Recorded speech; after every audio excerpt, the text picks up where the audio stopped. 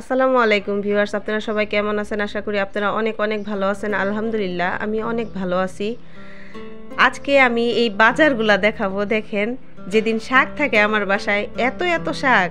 এখানে ডাটা শাক আছে, আবার আছে মিষ্টি লাউ শাকগুলো আছে, বিভিন্ন সবজি আছে। একদিনে আমরা দুইজনে বাজার করছি। এই কারণে আমাদের সবজির পরিমাণটা অনেক বেশি হয়ে গেছে। এখন এইগুলা কি করব? সব ফ্রিজে রাখব। এই দিক দিয়ে আবার আমি পাট শাকও আনছি। তো ডাটা শাক, মিষ্টি লাউ শাক, পাট শাক সব আছে। আর এইগুলা সব আমি রান্নার জন্য সব কেটে কুটে রেখেছি। কিন্তু আমরা দুইজনে যে বাজার করছি, কিন্তু এখানে কেউ কারোটা জানতাম না। তার জন্য এই অবস্থা হয়েছে তো এখন আমি এই সব সবজি কেটে রেখেছি। কিন্তু রান্না করছি হালকা খাসির মাংস। মাহিন বলতেছে যে যে খাসির মাংস আর চিতই পিঠা খাবে। তার জন্য ভাবছি যে এখন মিষ্টি লাউ আর চিতই পিঠা আর খাসির মাংসটা রান্না করব। আর বাকিটা করব ইফতারের পরে। ইফতারের পরে নয়টার দিক দিয়ে সেহেরির রান্নাগুলো বসিয়ে দিব। ইফতারের পরে যে রান্নাগুলো করব, সেইগুলো আমি ধুয়ে রেখেছি যাতে রান্নার পরে আমার কোনো সমস্যা না হয়। ইফতারের পরে অনেক সময় শরীরটা খারাপ লাগে, কিন্তু কিচ্ছু করার নাই, কিন্তু আমার করতেই হবে এগুলো আমার কাজ। তো এখন এখানে মাহিন আবার ইফতারিগুলো সব গুছিয়ে দিচ্ছে, ওরা আবার এক্সাম চলতেছে, যার কারণে বেশি হেল্প করতে পারে না, তারপরেও যতটুকু সুযোগ পায় আমাকে হেল্প করে, কারণ আমার তো একাই সব কাজ করতে হয়। এদিক দিয়ে সব ফল ফ্রুটস এগুলো সব নিজেই গুছিয়ে নিয়েছে।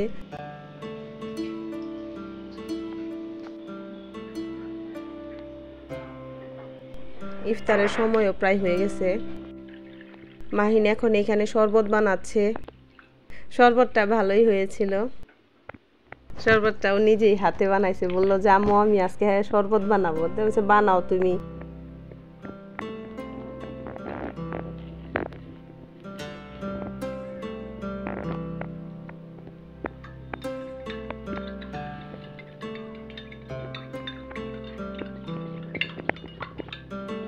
আজকে আমার সব কিছুতে দেরি হয়ে গেছে, আজান দিয়ে দিয়েছে মাহিন শরবত খাচ্ছে। তো আমি এদিক দিয়ে আবার মুড়ি বানাতেছি দুইজনের ইফতার। আমি হাতে বানাই মুড়িগুলা।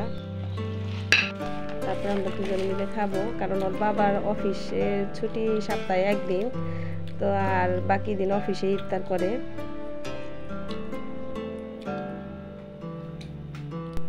তো ইফতার শেষে নামাজ পড়ে আমি একটু রান্নাঘরে আসছি, এদিক দিয়ে আমার মাংসটা হয়ে গেছে। আমি এটা নামিয়ে ফেলব।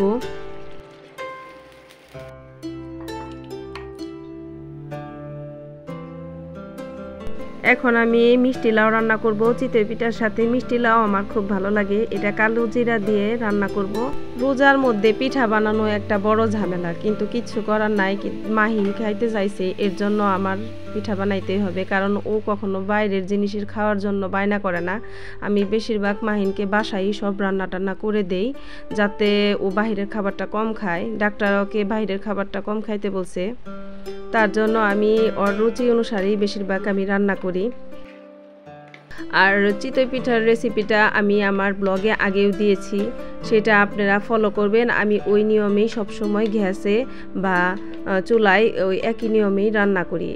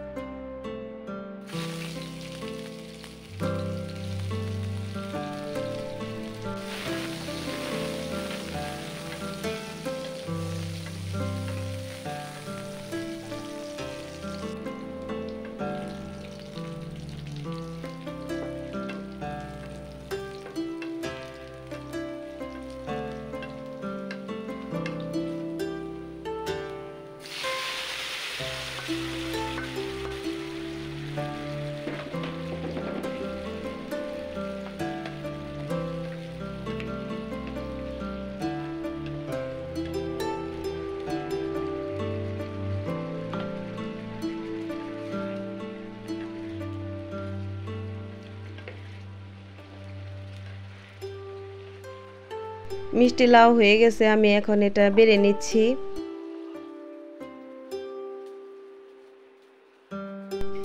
তো এখন আমি চিতই পিঠা ভাজবো, এর বেটারটা আমি আগেই বানিয়ে রেখেছিলাম। এখন শুধু চুলায় দিয়ে ভেজে নামিয়ে ফেলব। তো এই হচ্ছে চিতই পিঠা। এই রেসিপিটা আমি আগেও বলেছি, আমার চ্যানেলে দেওয়া আছে। তো এখন মাহিনকে খেতে দেব। রাতের খাওয়াটা হয়ে গেলে আর কি আমি সেহিরির জন্য রান্না বসিয়ে দিব। এখন মাহিন খাচ্ছে, আমরাও খেয়ে নেব এখন। পিঠা বানাইলে তো সবারই খাওয়া হয়। আর রাত্রে আমরা বেশি খাই না, কিন্তু আজকে পিঠা বানাইছি বলে খাচ্ছি। তো এখন আমি আবার সেহেরির জন্য রান্না বসিয়ে দিচ্ছি। এখন আমি করলা ভাজির জন্য তেল দিয়েছি, পেঁয়াজ, কাঁচামরিচ ছেড়ে দেব।